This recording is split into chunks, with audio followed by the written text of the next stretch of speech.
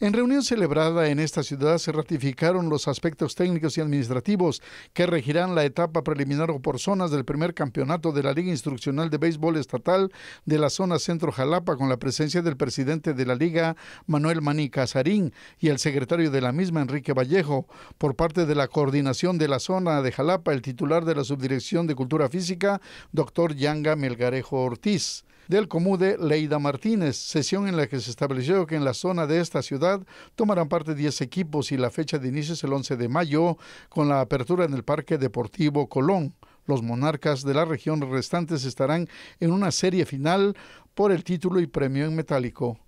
Para RTV más Deportes, Carlos Serrano Bazán.